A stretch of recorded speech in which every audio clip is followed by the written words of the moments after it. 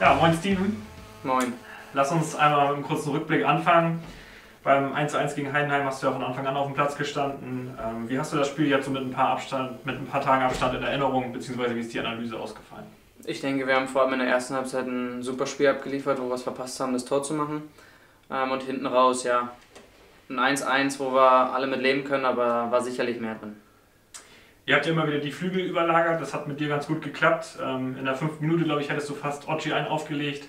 Könnte das jetzt auch wieder ein Mittel gegen Bremen sein?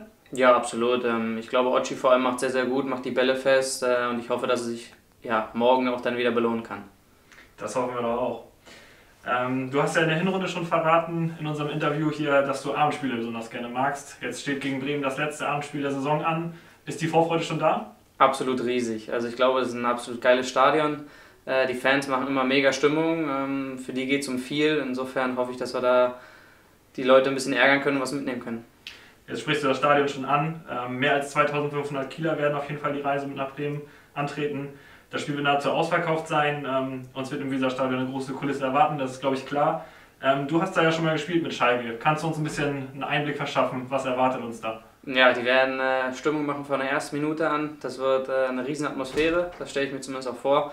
Ähm, trotzdem hoffe ich, dass sie da nicht mit einem lachenden Gesicht am Ende rausgehen.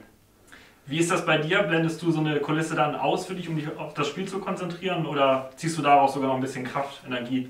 Also ich finde es immer geil, wenn volle Stadien sind. Ähm, die Stimmung, wenn die gut ist, dann pusht es einen selbst auch nochmal, auch wenn es ein Auswärtsspiel ist.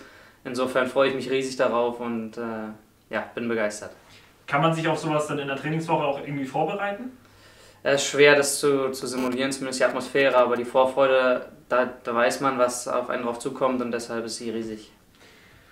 Sollte Dresden am Samstag nicht gewinnen, wäre der Klassenhalt dann ja auch rechnerisch sicher. Was stimmt dich aber positiv, dass ihr das vielleicht schon gegen Bremen aus eigener Kraft mit mindestens einem Punkt schafft? Ich denke vor allem die letzten Spiele und auch die Trainingswochen stimmen mich da sehr positiv.